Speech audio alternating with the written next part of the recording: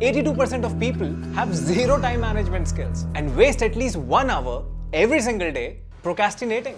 Are you doing this too? See, if you want to get better at time management, then you need to understand Parkinson's law. Parkinson's law states that work expands to fill the time for its completion. In simple language, it means that if you have 30 days to complete any task, you will take exactly 30 days to complete it, which by the way means you will not do anything in the first 29 days. And on the last day, you will stress out to meet the deadline. See, the thing is, the more time you have to complete the task, the longer it will take to finish it. But you know what is more scary? Having no deadline at all. Because if you have no deadline to complete the task, then you will never get it done. And perhaps same thing is happening with your goals. So the trick that has helped me is that instead of giving myself two days to complete the task, I started giving myself one day to complete it. And that made a huge difference. Now don't get too crazy with the deadlines. Now if something takes one week to complete it, don't just try to do it in